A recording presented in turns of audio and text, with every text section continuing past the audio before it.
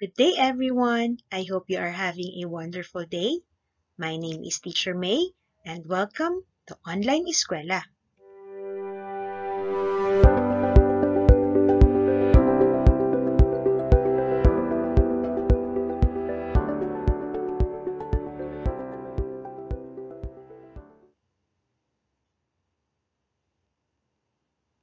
Please don't forget to subscribe.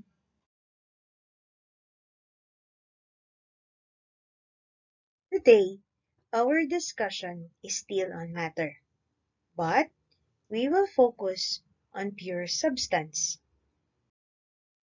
What is a pure substance? A pure substance is a matter that is made up of only one kind of particle and has a fixed or constant structure. And Unlike the mixture, pure substance is a matter which cannot be separated into any other kind of material when using the physical or chemical process. Let's have a comparison. We have here granite and gold. Granite is an example of a mixture because it is made up of different kinds of minerals. On the other hand, Gold is an example of pure substance because it is made up of only one kind of material and that is gold. Based from our previous discussion, we mentioned that pure substance can either be elements or compounds. Elements. An element is a substance that is made from one kind of atom only. It cannot be broken down into simpler substances. Now, let's put emphasis on one kind of atom. For example, we have here circles of the same size and color. These are atoms of purple element. Again, these are squares of the same size and color. These are atoms of green element.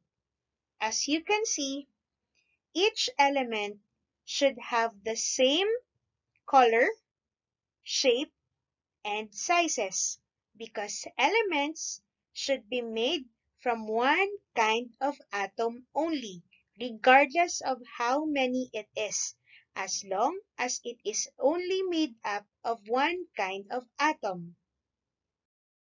Compounds. A compound is a substance that is made from more than one element. In here, the purple element is combined with a green element. When an element is combined with another kind element, they will be called as compound. Another example. This is a compound.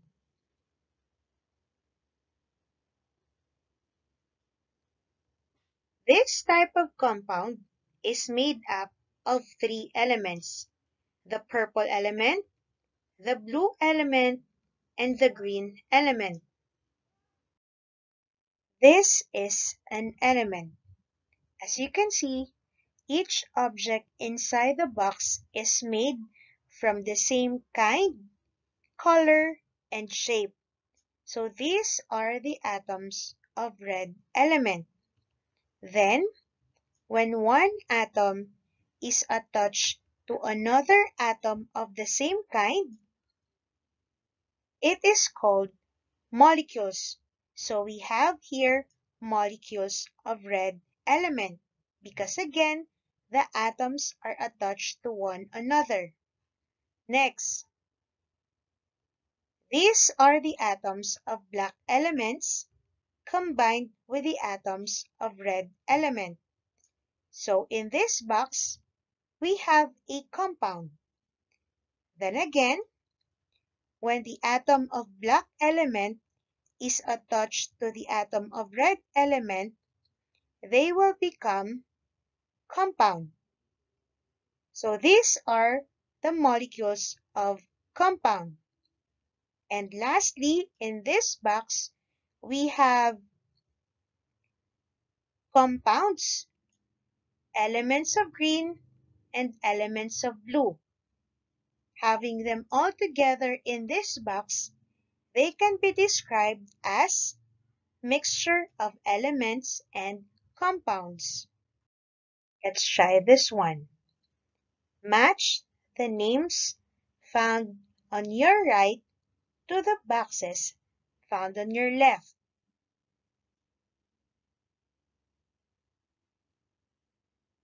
Now, what is the name of the first box? Very good. It is called molecules of an element. What about the second box?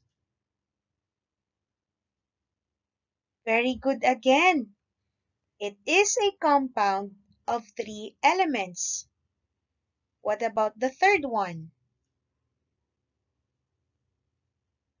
Yes, it is atoms of an element. And lastly, the fourth box is called mixture of compounds. Let's discuss the answer one by one. We have here two boxes which contains atoms of different elements. The first box contains atoms of blue element and the second box contains atoms of red element. The first box is called atoms of an element, while the second box also has atoms of an element. However, since the atoms are attached to one another, they are called molecules of an element. Next, these two boxes contain compounds, but the first box is called mixture of compounds because as you can see, this box has three compounds.